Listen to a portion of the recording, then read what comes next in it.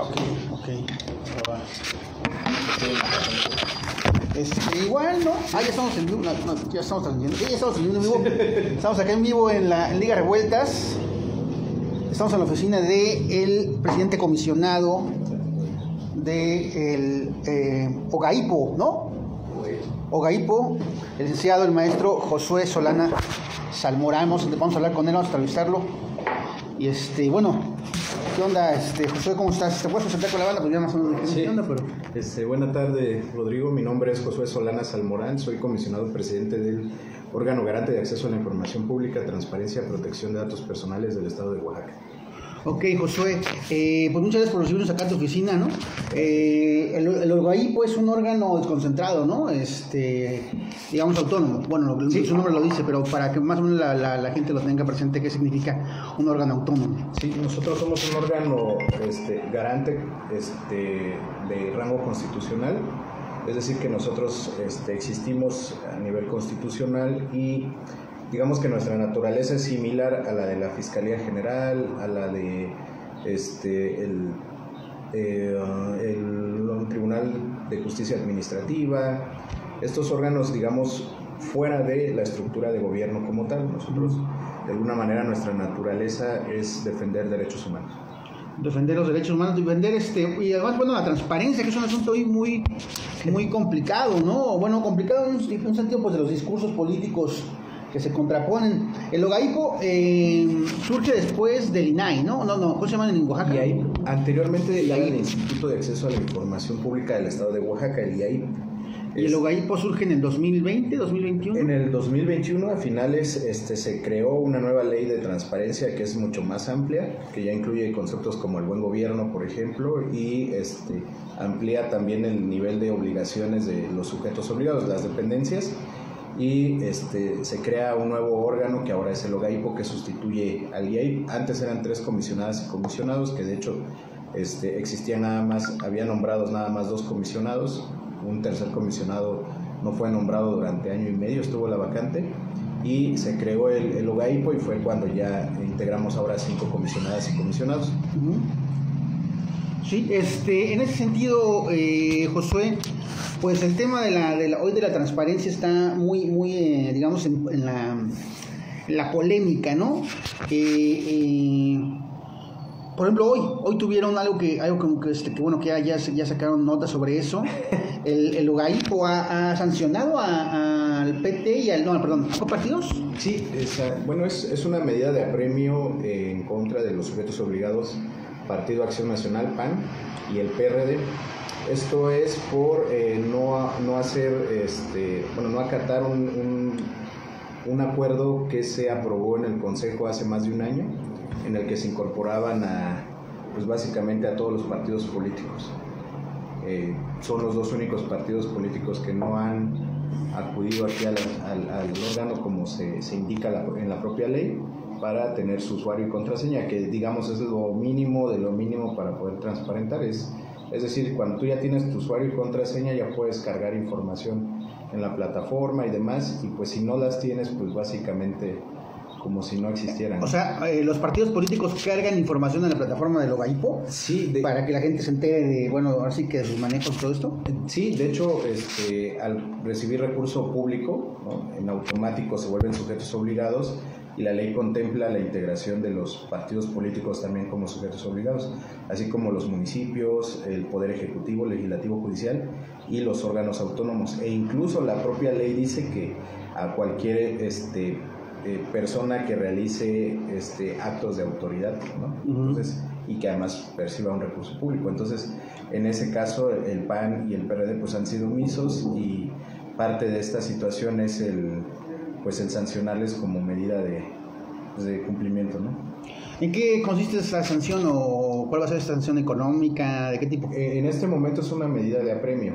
Eh, Posterior a ello, si siguen sin acatar lo que ya se establece en la ley, ya vienen multas que van desde las 300 sumas o van, van en ascenso, pues, ¿no? Con medida de premio, ¿a qué te refieres? O sea, que tienen que hacerlo ya, es como decirles, órale, ya no, no, no se hagan tontos. Ah, exactamente. Ahorita ya, es- ya, ya se aprobó un acuerdo en el que, pues básicamente el, el- el acuerdo determina que debe de haber una medida de apremio, en este caso una amonestación pública, ¿no? Una amonestación pública.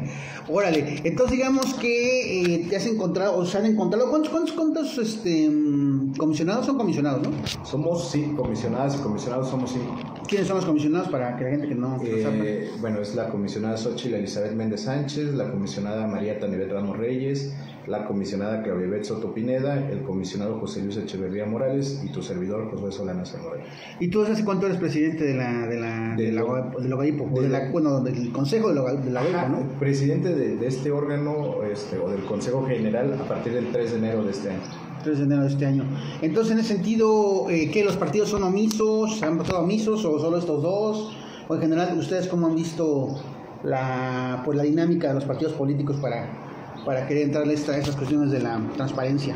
Pues básicamente todos los partidos hasta el momento han cumplido, excepto estos dos partidos que ya se hizo mención en el acuerdo, porque justamente, por ejemplo, si tú como ciudadano o ciudadana quieres hacer una solicitud de información, pues cuando hagas todo el procedimiento a través de la plataforma, pues nadie te va a contestar porque no tienen forma de contestar, es decir, no, si no tienes un usuario y una contraseña, de qué manera vas a contestar. Luego, si no hay contestación y hay una, una queja por parte del ciudadano o ciudadana, pues cuando haya un recurso de revisión no tenemos forma de notificar. Entonces, este, a través de, obviamente, de, estos medios tecnológicos, ¿no? Entonces, eh, parte de, de, este avance que se ha tenido en materia de transparencia es incorporar a los partidos políticos que eh, anteriormente no habían sido sujetos de, transparencia.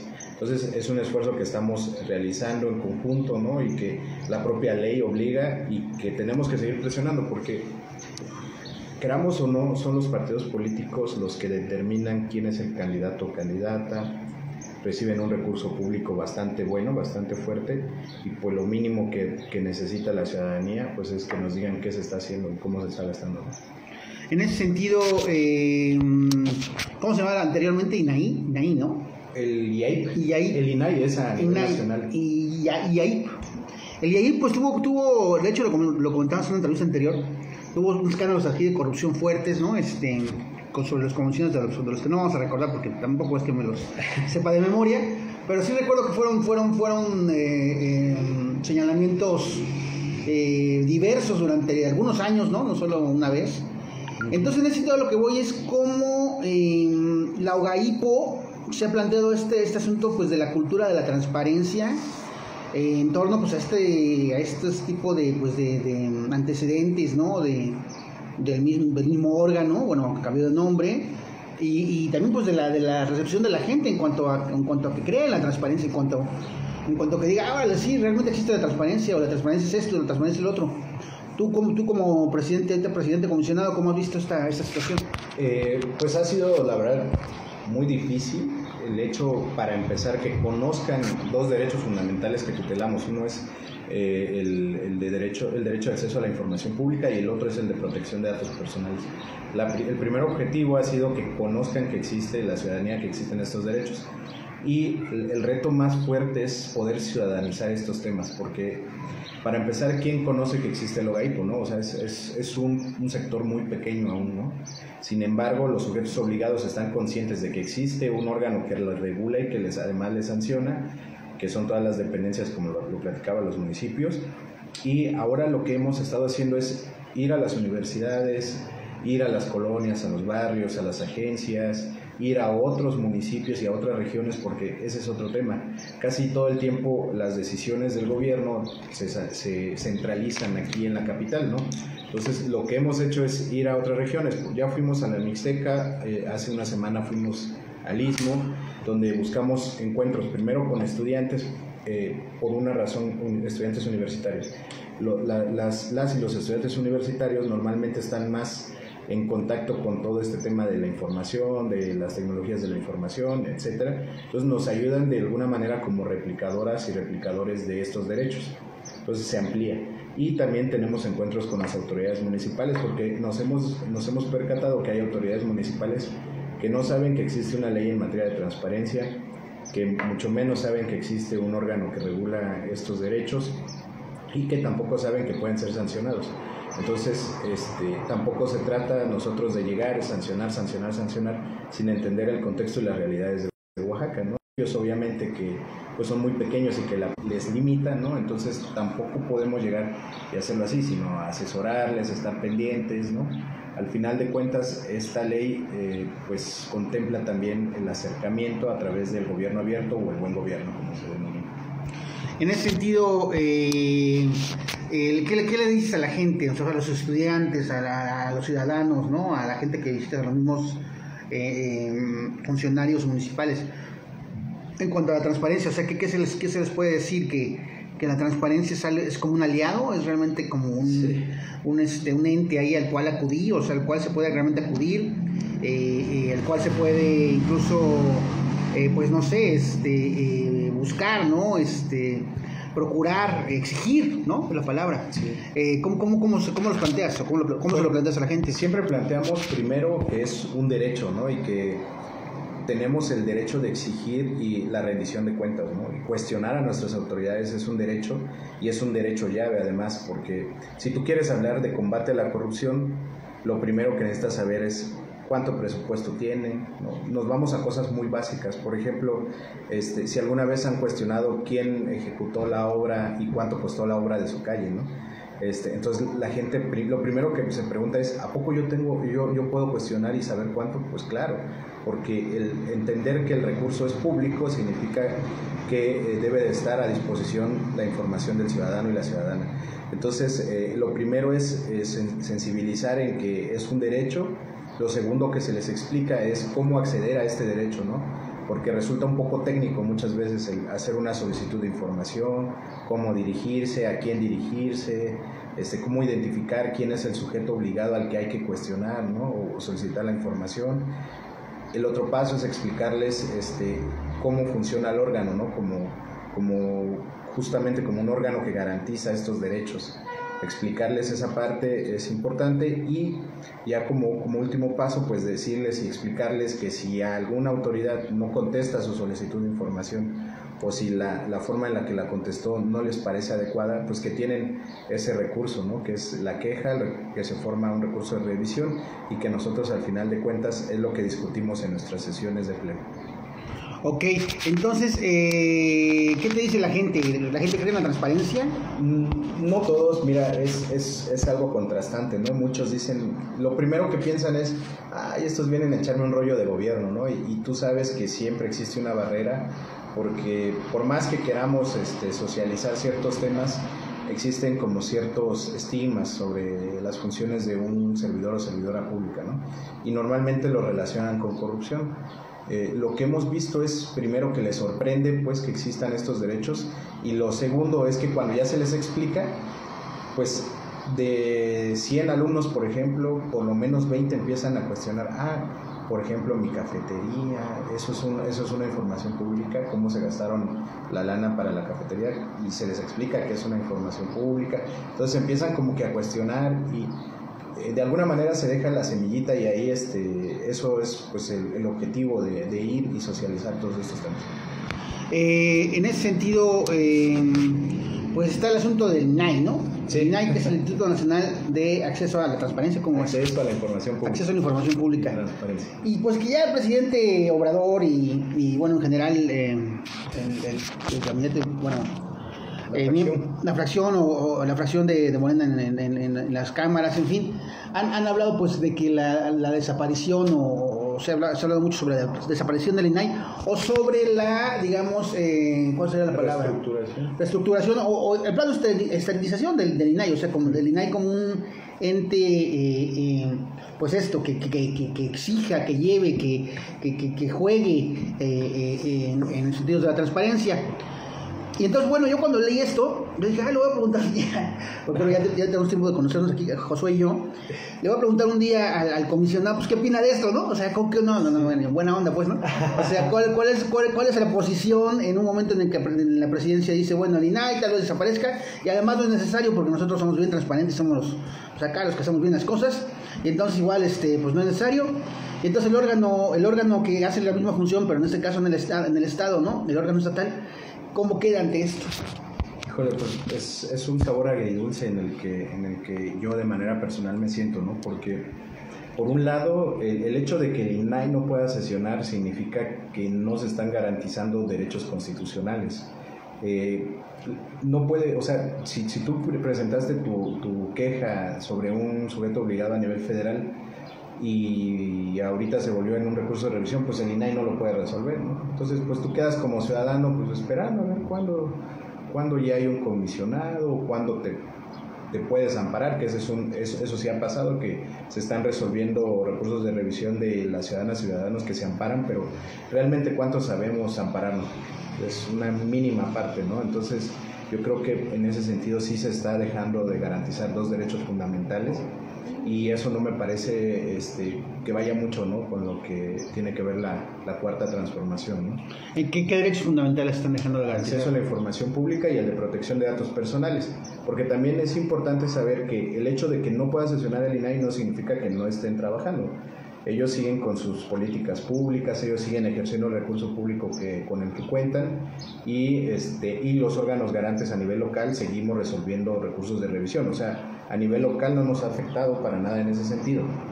Sin embargo, pues si tú quieres hacer una solicitud de información a una dependencia de nivel federal y no te contesta, pues no vas a poder, aunque presentes tu queja, pues nadie te va a resolver si te tienen que dar o no la información. Entonces por ahí está como detenido. Pero yo entiendo mucho el, la narrativa del presidente en este caso de decir, fueron nombrados por un anterior gobierno, fueron nombrados por una este, por gobiernos neoliberales, ¿no? Este, que además el presupuesto que ejerce para el presidente es demasiado, ¿no? Y creo que cualquiera nos sorprende que mil millones de pesos se puedan ejercer por una dependencia, ¿no? Y, poniendo en consideración y, digamos como en, un, comparativo, ¿no? El, el, órgano garante de Oaxaca recibe aproximadamente 30 millones, un poquito más, y el INAI, según los datos del presidente, son mil millones de pesos. el, el, estado de Oaxaca tiene un poquito más de 600 sujetos obligados y el INAI tiene aproximadamente 800. ¿no? Entonces, eh, hay como ciertos comparativos, ¿no? Yo creo que valdría la pena también fortalecer los órganos locales. Este, al final de cuentas nosotros conocemos el contexto real de las cosas aquí en nuestros estados, ¿no? Eh, por ese lado yo creo que eh, es eh, quiero entender que es la preocupación del presidente, ¿no? Si realmente ha valido la pena sostener un presupuesto tan alto para un Consejo General del INAI, ¿no? Y que además también pues, no somos ajenos a que pues tenga un tinte político, ¿no? Que, que a lo mejor este, el procedimiento cuando se quiso nombrar a un, a un comisionado, comisionada cuando fue, este, cuando ejerció ahí este, el, veto de, esta, de este dictamen, ¿no? El, presidente, pues, pues justamente eh, fue porque había habido observaciones de cómo se había hecho ese proceso de selección, pues. Entonces yo creo que eh, nuestro, digamos que nuestro rol como, órgano garante no es estar viendo las cuestiones políticas, sino más bien atender lo que nos toca, pues. Y en este caso es pues, resolver todo lo que se pueda en el estado de Oaxaca en ese sentido, ¿tú crees que, que la intención del gobierno federal sea desaparecer al INAI? No lo creo, fíjate. Para empezar, este, para desaparecer al INAI tendrían que hacer una este, reforma a nivel constitucional. No sé si en términos, digamos, este, numéricos vaya a alcanzar, porque como tú sabes, este, por ejemplo, el, tema del INAI, ¿no? que era la intención de desaparecer al INAI, pero no se alcanzó la mayoría para lograr la reforma constitucional y por eso se ejerció el plan B. Yo no creo que por ahí vaya la intención, tampoco creo que la intención sea no garantizar estos dos derechos, sino más bien eh, yo creo que la intención, y es una percepción muy personal, este, es reestructurar al INAI. En ese sentido, este, em, entonces, bueno, recapitulando lo que acabamos de comentarnos, eh, el INAI ahorita no, no, no puede hacer nada, está digamos como este... Pues no puede sesionar, no puede resolver recursos de revisión, que es como digamos el, el, la parte medular de cualquier órgano como este, ¿no? Nosotros si no sesionamos y no resolvemos... ¿Y por qué no pueden sesionar y hacer recursos de revisión para la gente que no...? Porque, ah, bueno, eh, para que pueda sesionar necesita la mayoría de pleno. Esto significa que de siete comisionadas, comisionados por lo menos tenga cuatro, porque ahorita este con, con, el pleno que tiene, no podría porque no alcanzan, a, no, no alcanzan el quórum legal que, que, la ley establece, su propia ley. Entonces este, necesitan al menos el nombramiento de un, de un comisionado o comisionada, al menos un, con ese ya podrían sesionar. Pero ese nombramiento no ha llegado, digamos. No ha llegado y no sé, no sé para cuándo. No sé para cuándo. Entonces, en ese sentido, eh, ¿qué, tan, qué, tan, ¿qué tan complicado de repente, y me refiero pues, a todos los gobiernos, a todo en sí a la estructura política y en sí a la, la, a la chamba de un órgano autónomo, ¿qué tan, qué tan complicado es ejercer esa autonomía en un escenario pues, en el que los, los intereses tácticos pues, son enormes, ¿no? Y son todos, pues, ¿no? Y son pues muy, a veces muy claros, a veces no tan claros, y, pero que siempre están ahí. Entonces, en ese sentido, como órgano autónomo, pues cuál es la, cuál es la chamba y además cuál es el pues el desafío y cómo seguir adelante, pues, ¿no? Sí, pues la chamba es justamente mantener la autonomía, porque esa es la naturaleza de estos órganos. Y, recordar que se logra, la, se logra la autonomía o la naturaleza de este tipo de instituciones gracias a la lucha ciudadana, ¿no? Entonces, eh, ir en contra de eso significa ir en contra de la ciudadanía. Nuestra chamba pues justamente es promover en nuestros recursos de revisión total objetividad, que así ha sido, ¿no? Hemos sido imparciales, a veces pues eso genera ciertamente molestias, pues, ¿no? Porque pues a ningún titular de alguna dependencia pues le puede gustar que, que nosotros revoquemos la información que manda y que tenga que mandar la que nosotros consideramos que debe mandar, ¿no? Eh, nosotros no nos metemos a la veracidad de la información, que ese es un tema que también luego, este, al menos en, las servidoras y servidores públicos, pues luego pues les causa como ruido, ¿no? De si nosotros decimos si es cierto o no lo que ponen, eso no nos interesa a nosotros, sino garantizar el derecho de acceso a la información. Otro error que ha habido también, o, o mala percepción, es que nosotros fiscalizamos, ¿no? O sea, casi casi dicen, este, le toca al órgano garante sancionar porque de esta información se determinó que hay corrupción. No nos toca a nosotros, para eso está la auditoría y está la fiscalía especializada. Este, son como algunas de las de los errores que se van dando, ¿no? Conforme van este, los sujetos obligados y este, pues conociendo de la existencia también del OGAIPO. Y pues nuestra, nuestra función tiene que ser como órgano garante y como así ha sido, la verdad es que ustedes lo pueden ver en nuestras resoluciones, no hay una tendencia de que digamos, a este sí lo obligamos y a este no, sino que ya establecimos criterios cuándo sí, cuándo no. Y pues muchas veces eso genera pues, cierta molestia, ¿no? También eh, el hecho de cuestionar y todo esto, pues a veces como que no, no gusta mucho a las autoridades. Pues a veces yo creo que nunca, pero este, pero ¿qué, qué, algo que, de lo que nos puedes hablar de estas, de estas este, cuestiones que han, que han, que bueno, como órgano garante han llevado a cabo. Este, pues mira. ¿Tú, tú destacarías? Hoy, por ejemplo, presentamos una guía este, para personas con discapacidad auditiva, ¿no? Este, eso es parte de la política pública, el, lograr que las personas y que todas las personas tengan acceso a la información significa empezar a, evidenciar, empezar a este, hacer visibles a estos grupos que históricamente pues, los hemos dejado fuera de alguna manera, ¿no? que son las personas con discapacidad, justamente el tema de las mujeres, ¿no? Hemos tratado de, que nuestras resoluciones tengan perspectiva de género, porque nos hemos percatado que del 100% de, de, personas solicitantes de información, por lo menos el 80% son hombres y el 20% son mujeres, ¿no? Eso es como que eh, nos, nos, nos, dice mucho, ¿no? Porque nos está diciendo que al menos en los municipios las mujeres no cuestionan, pero todos sabemos que no es que no quieran, sino que el propio sistema orilla que no cuestionen, ¿no? Por una parte, este, la política pública que tenemos también de capacitación, este, estamos yendo desde, desde niñas y niños de pocos años, ¿no? Desde el kinder, para que sepan que tienen que cuidar sus datos, a niñas, niños y adolescentes, ¿no? Porque eh, nos hemos percatado también que son las personas más expuestas a pues a daños por violación a los datos personales, ¿no?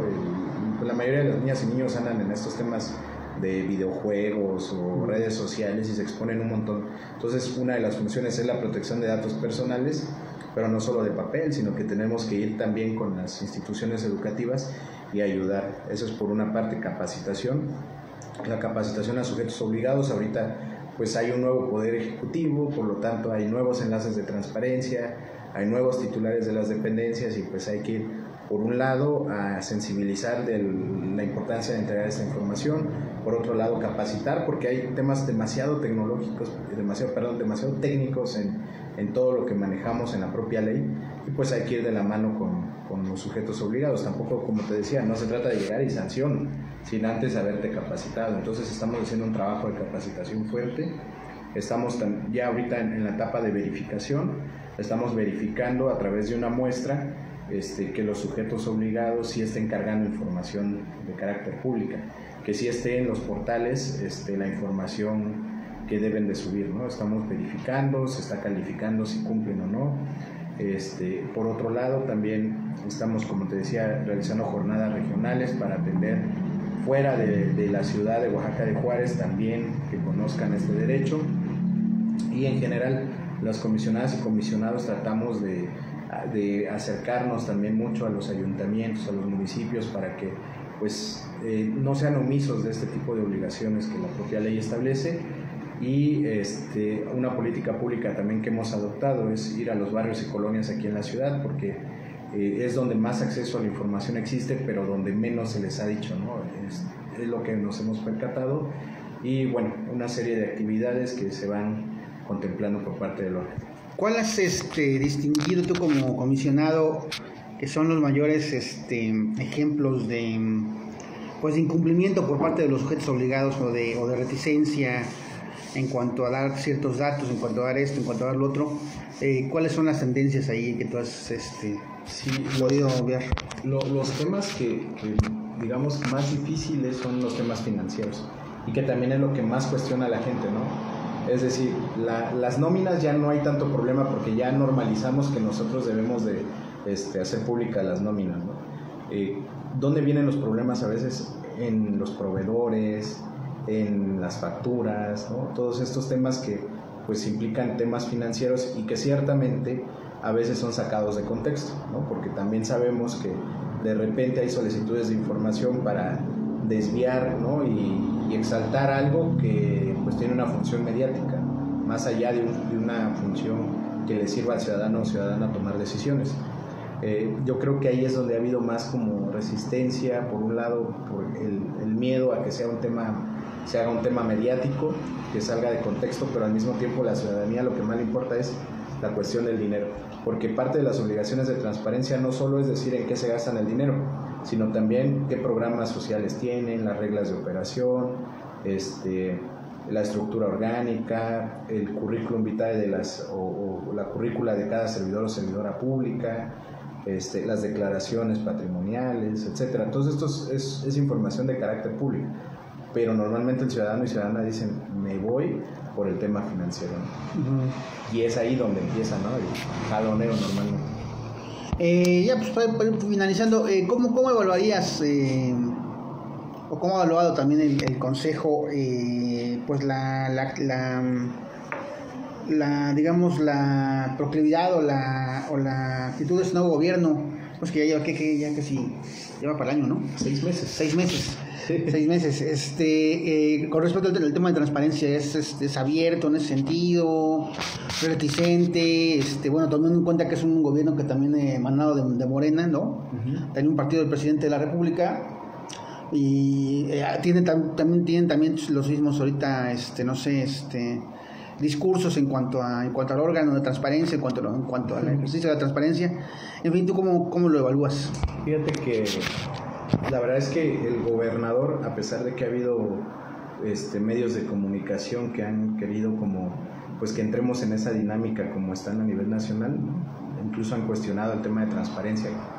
Eh, él no ha caído en ese tema, pues no, hasta el momento el, gobernador no, no ha atacado al órgano garante de transparencia. La verdad es que eso a nosotros al menos nos mantiene como con la tranquilidad de que no, de que podemos hacer un trabajo coordinado institucional este, eso por un lado. Hace 15 días el gobernador utilizó este, información propia de, la fuente que nosotros generamos, del OGAIPO y de la Plataforma Nacional de Transparencia, para hacer mención cómo han subido el, número de solicitudes de información a partir de que él entra o que el gobierno, este, la nueva administración entra, que es bastante considerable. es básicamente un 70% de lo que recibió en todo un año el anterior, el anterior gobierno. Eso significa que, pues, que están cuestionando y cuestionando y cuestionando, pero el, el gobernador hizo mención y eso incluso a nosotros nos ayuda mucho porque cuando hace visible este tema de transparencia en sus discursos, cuando hace visible este tipo de información, los titulares, y va como en cadenita, ¿no? Así en, cascada, los, titulares de las dependencias, de las secretarías, pues empiezan, empiezan a darle la importancia que tiene la transparencia.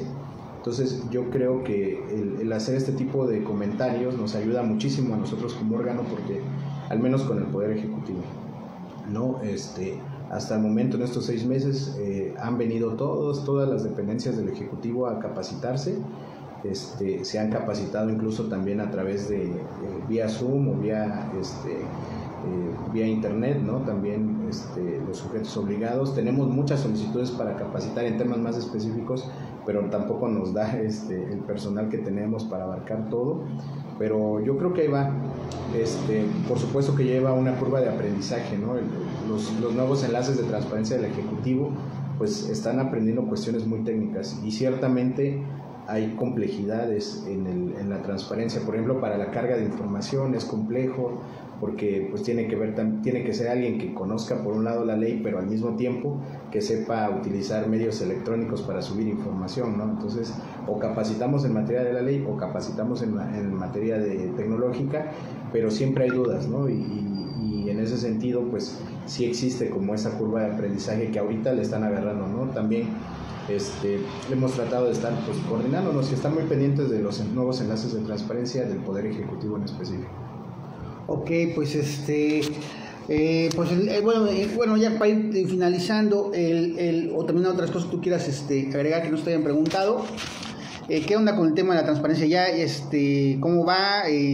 tú como, bueno, como una persona comisionada para, para garantizarla, eh, puedes dar fe de que, de que se está trabajando en sentido, de que la gente hoy tiene más posibilidades de acceder a saber en qué se gastaron las cosas o en qué se fueron ciertos recursos o en qué eh, o a dónde estaba el funcionario en un cierto momento o qué hizo eh, que antes o, o, porque además también siempre el miedo pues de la ciudadanía siempre será pues una simulación no que, que sea que, que sean que haya pues digamos, eh, yo como que hago que te, que te cuestione, tú como que haces que me respondes, y así nos la llevamos todo el tiempo. En ese sentido, ¿tú cómo lo ves? Las, bueno, las resoluciones cada vez son más fuertes, y por supuesto que no es lo mismo hace cinco años la transparencia como es ahora. Para empezar, ni siquiera se hablaba de eso, ¿no? Ahora ya es un tema que sale de la simulación, que ya empieza a haber sanciones más fuertes, que ya se toma más serio este tema porque sí vienen las autoridades, sí vienen los titulares de las dependencias, sí por lo menos nos dicen, oye, ¿cómo resuelvo esta situación? ¿Cómo contesto? Asesórame, etcétera, ¿no? Yo con total objetividad te puedo decir que hay un avance considerable y, se puede, y puede ser palpable de unos tres años a la fecha. ¿no? De entrada, el número de solicitudes aumentó por lo menos un 100%, eso significa que mientras más abramos el tema, pues más van a cuestionar, va a haber más solicitudes de información, este órgano tendrá muchísimo más chamba. Entonces, este, pues yo lo veo con, con, una óptica muy positiva. Ciertamente no, no, poder, no podría decirte así o romantizar el tema y decirte, no, ya somos un Estado súper transparente, pues no, como, como en todos estos temas de combate a la corrupción, pues hay sus, sus, sus este, sus blancos y sus negros, ¿no? En, ese sentido, este, sí te puedo decir que vamos, vamos un poco bien, vamos mejorando, que va a ser un trabajo que no, no lo vamos a solucionar en este momento. Yo creo que eh, podrán venir nuevos comisionados y comisionadas después y seguirá habiendo resistencia a la transparencia, pero cada vez menos. Y mientras también el Poder Legislativo, que fue algo que también debo reconocer, que aprobó una reforma que nosotros propusimos para ampliar este, eh, en, algunos temas, por ejemplo, ampliar las obligaciones específicas de ciertos sujetos obligados, este, disminuir el tiempo de reserva de la información, etcétera, etcétera. Este, creo que si los tenemos al Poder Legislativo como aliados, pues podríamos ir trabajando en perfeccionar también nuestras leyes, ¿no? Las sanciones más fuertes, yo creo que yo, yo me iría por sancionar más fuerte. ¿A qué te refieres con sanciones Pues imagínate que un día este, podamos llegar este, a, inhabilitar a algún servidor o servidora pública que no quiera transparentar, ¿no? Creo que ese sería como el ideal de los escenarios este, en sanciones, ¿no? Y que pues se acate. En la medida que sea más fuerte, desgraciadamente así funciona nuestro sistema, más fuertes las sanciones, habrá, más, habrá menos resistencia a hacer las cosas, pues, ¿no? Entonces, este, yo creo que en la medida que vayamos avanzando hasta lograr eso y además sensibilizando, pues nos va a ir súper bien a los ciudadanos y ciudadanas. Y sí te quiero decir que al menos lo que recogemos ahora que salimos de, la oficina y de la ciudad es que pues la gente quiere cuestionar y lo va a seguir haciendo. Y mientras la ciudadanía no cuestione, no presione, pues habrá más y más resistencia y más y más simulación. Ok, entonces la, recomendación a la ciudadanía es presionar, es cuestionar. Todo, todo el tiempo. Yo, pues, no sé si sea, correcto, pero yo siempre le digo a la ciudadanía, cuestionen, eh, pidan que les rindan cuentas, este, hagan uso de su derecho, ¿no? Háganlo valer, porque yo sé que está mal también recargarle la culpa a la ciudadanía, pero es que si no exigimos, si no cuestionamos, pues, pues van a ser como que nos dicen las cosas y pues ahí va a quedar, pues, ¿no? Entonces, y en ese sentido, eh, la ciudadanía puede, puede contar con que la OGAIPO es, digamos, un aliado en, este, en esta cuestión. Definitivamente, este, aquí tenemos las puertas abiertas para cualquier ciudadano o ciudadana eh, y asesorarles, pues, ¿no? A hacer desde lo más básico, hacer cómo hacer una solicitud de información. Constantemente subimos a nuestras redes este, tutoriales y cómo, cómo acceder a cierta información, cómo visitar los portales de transparencia, etcétera y en la medida que, que nos vayamos involucrando, pues, pues yo creo que va a mejorar este tema. O sea, si alguien este, en su comunidad este, tiene dudas de cuánto se han gastado, lo, cómo se han gastado los dineros públicos, puede acudir aquí a la Guadalupe para que los asesoren para, para investigar eso, para pedir este datos sobre eso. Sí, claro. De hecho, fíjate que tenemos algo hemos tenido aquí agentes municipales, por ejemplo, para cuestionar a su presidente y se les han dado los formatos, se les, ha, se les ha dicho cómo cuestionar. Ha llegado hasta recursos de revisión, ya sanciones, este, han venido jóvenes universitarios para cuestionar este, algunos servidores y servidoras públicas, etcétera, ¿no? Este, aquí siempre se les ha recibido y siempre se les asesora y aquí no pasa de que al rato haya este, algún tipo de pues de agresión o algo a un ciudadano que lo, que lo haga, ¿no? Aquí siempre se le sugiere para empezar, si lo haces a través de la plataforma, utiliza un seudónimo para que no esté tu nombre ahí y al rato te vayan a estar buscando porque estás cuestionando, ¿no? Y todos estos, todos estos tips se les da para que pues el ciudadano se vaya cómodo, pues, ¿no? Y se vaya pues satisfecho de que aquí se le dio toda la orientación como se debía. Entonces estamos abiertos, yo les invito por favor a que vengan. Este, la verdad es que no es mentira, ¿eh? pueden, pueden probar que, aquí se les va a asesorar. Vengan un día y pregunten este, cómo hacer el solicitud de información, cuestionen al propio GAIPO, nosotros también somos sujetos obligados, nosotros también, este, a nosotros también nos cuestionan todo el tiempo y está bien porque de eso se trata, ¿no? que seamos este, precursores de este tema. Josué Solano Salmorán, ¿cuándo es tu o cuándo termina tu nombramiento como, como comisionado? El 27 de octubre, me parece, no recuerdo, pero es en octubre a finales, este, concluye mi nombramiento como comisionado presidente según lo que establece el acuerdo que fue aprobado en su momento en enero, porque recordemos que yo este, suplo al comisionado José Luis Echeverría, quien eh, renunció de manera voluntaria en el mes de enero. ¿Y luego regresó cómo? Eh, no, renuncia al cargo de comisionado ah, presidente. Sí, no, este, y eh, la ley establece que son dos años la presidencia, pero que debe de haber, debe de observarse el tema de este, alternancia de género. Entonces, por eso es que la próxima este, presidencia va a recaer en una de las comisionadas. Ok, eh, pero bueno, ¿tú cuándo terminas tu, tu, eh, labor este como comisionado? Este año concluyo el 20. Ah, como comisionado. como comisionado, como, como presidente comisionado en el 2025. Sí, 2025. A lo que voy es, ¿cuáles son las expectativas para estos que dos años que faltan? O sea, ¿crees que la labor se va a volver más complicada? ¿Crees que va a haber mayor cooperación? ¿Crees que, no sé, cuestiones como la que dijo el presidente en cuanto a la transparencia, en cuanto al INAI, este, esta, pues esta pugna que hay del gobierno federal contra el INAI, eh, permee finalmente a Logaipo? ¿Cuál, es, ¿Cuál crees que sea, eh, ahora sí que el futuro, estos dos años que te faltan como comisionado? ¿Qué, qué este, desafíos, qué problemáticas visualizas?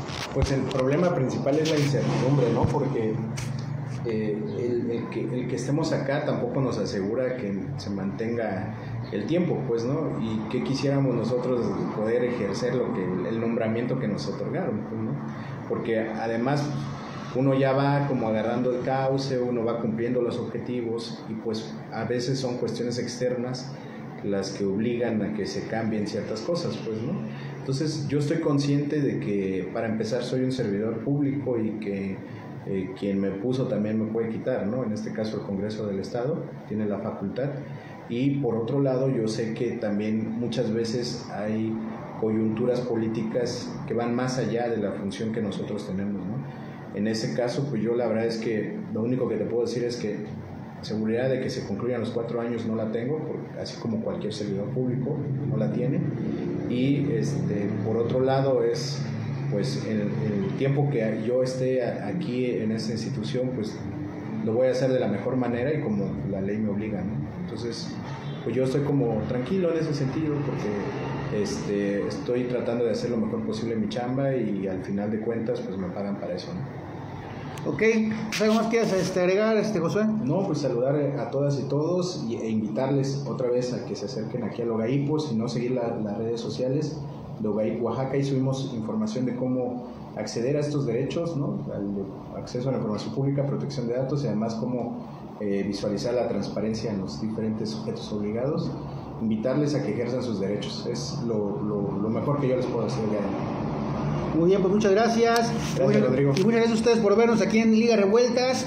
Y bueno, y es este de destacar pues que hagamos esta entrevista porque en general eh, los funcionarios públicos hoy en día en Oaxaca pues hay que decirlo, no están, no están este, en la mejor disposición ni de dar entrevistas, ni de explicar cosas, ni de decir nada. Y bueno, por eso muchas gracias y reconocimiento a José Solana por haberlo permitido. Gracias, gracias hasta luego.